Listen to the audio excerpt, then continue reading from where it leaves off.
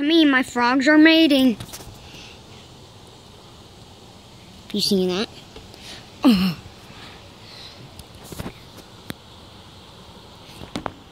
You see the low rise? Oh, hiding.